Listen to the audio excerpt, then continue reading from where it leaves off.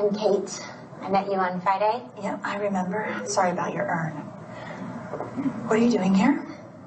Um, well, I found your number in my husband's phone.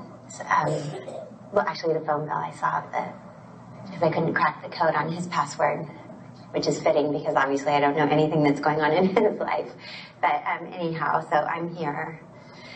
Um, I thought maybe we could talk. No, we can't. If you have any questions about your husband, you should ask him. Oh, well, well, I would, but I'm pretty sure he's lying to me and sleeping with you.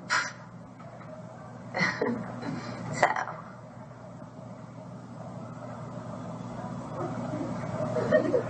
Am I right?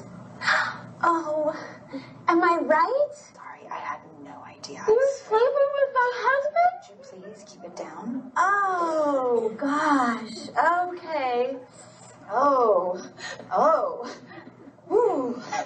I did not expect this at all. I thought that I would come down here and you would tell me that I was crazy. I did not think that I would be right at all. I mean, maybe a little in that too horrible to be true kind of way, you know, when you say the awful thing so that the awful thing doesn't happen thing. Woo! Oh, does this, um, does this open this window anywhere? This, there's gotta be a little latch or something. Just, just open it a little, crack it. Just crack it. Because the breath, air, it's hot in here. Just crack the window. Okay, I'll tell you anything you want to know if you just get up and leave. Anything? Anything. Here, help me up.